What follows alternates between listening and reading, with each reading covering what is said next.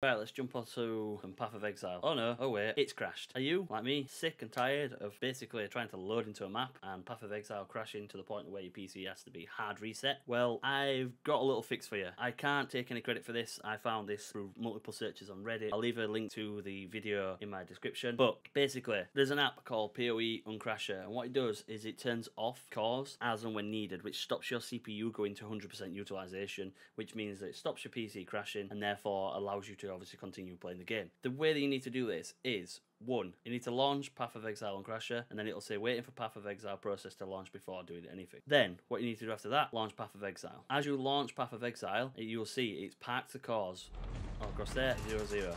And then it's reading the client from the Steam directly across there. What it will do is whenever the game will crash, it will basically unpark the cores and then it'll park the cores back. Because it does this, it stops the game crashing. I tried it, so I've been trying it now for about, about two days and I've not had a single crash. I've not had a single crash since. Um, so it works really, really well. Like I said, I'll leave a link to the description to the video. I'll leave a link to download in the video and enjoy looting and grinding them divines. Uh, if this video helped, please like, comment and subscribe and I'll see you in the next one. Peace.